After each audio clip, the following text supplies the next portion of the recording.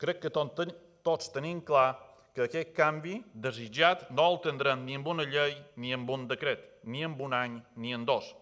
El que ara han de fer és posar les mesures per, la, per garantir la convivència entre residents i visitants i la sostenibilitat del nostre medi natural i del nostre ecosistema turístic.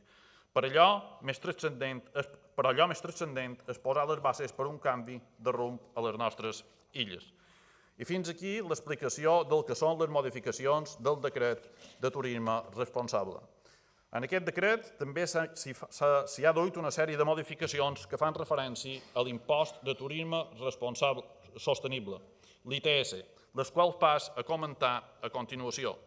En la modificació de la llei 5 bar 2021 de 28 de desembre del pressupost general es garanteix un màxim de 16 milions d'euros, 4 milions per municipi, per, fi, per, per al finançament per reforçar seguretat, inspecció i conscienciació en els municipis va la tutela d'aquest decret de turisme responsable.